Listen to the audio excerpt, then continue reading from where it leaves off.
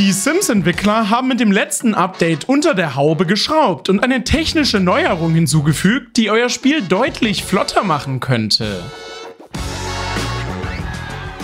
Seit dem Release vom Basisspiel in 2014 hat sich die Gaming-Welt natürlich technisch deutlich weiterentwickelt. Und so wurde auch bei den Sims mit dem letzten Update etwas nachgebessert. DirectX 11 ist nämlich ab sofort als Vorschauversion im Spiel nutzbar. Für allen, denen das nichts sagt, das ist eine Schnittstelle, eine Art Vermittler zwischen einer 3D-Anwendung, in diesem Fall die Sims, und eurer Grafikkarte. Die neueste Version soll dafür sorgen, dass ihr mehr Bilder pro Sekunde im Spiel erreicht und die Sims damit optisch flüssiger aussieht. Das ist allerdings nicht für alle Spieler nutzbar, sondern nur für Spieler mit Windows auf ihrem Computer. Um zu schauen, ob euer PC überhaupt DirectX 11 unterstützt, könnt ihr einfach Windows und R drücken und im Fenster DXDiag eingeben. Wenn ihr hier unter DirectX Version etwas über 11 stehen habt, habt ihr Glück. Das Spiel wird jetzt möglicherweise flüssiger. Um DirectX 11 im Spiel Spiel zu aktivieren, müsst ihr einfach nur in der EA-App in den Eigenschaften unter den Befehlszeilenargumenten